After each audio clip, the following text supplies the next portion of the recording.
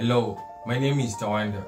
I liberate people from the slavery of their minds in the mighty name of Jesus Christ. I share the knowledge of God, which is free to those who believe in it. In God, there is everything.